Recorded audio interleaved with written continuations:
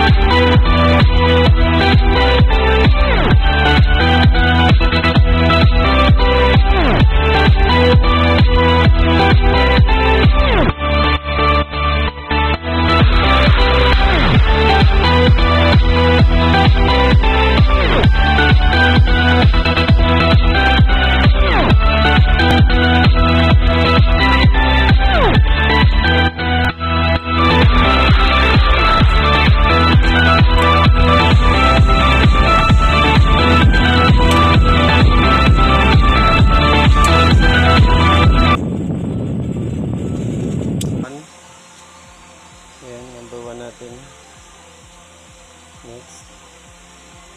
Number 2.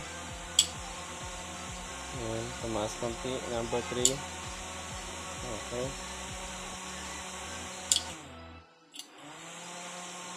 One. Gawa ng ating controller ng electric fan. 12 volts po to. So, lalagyan natin siya ng control ng 1, 2, 3. Yan.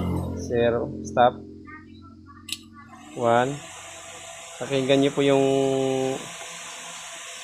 ugong ng fan natin. No? Lalakas po siya. Ayan. Number 2. Ayan.